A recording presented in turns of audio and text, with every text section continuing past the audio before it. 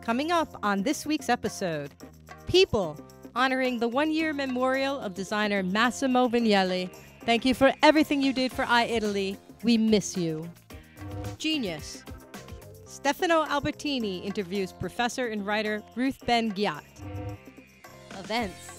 El Gato Chimney, a Milan based self taught artist.